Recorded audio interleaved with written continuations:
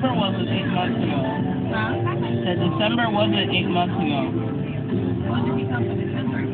He didn't. December was not eight months ago. December is six months ago. I said his birthday last year.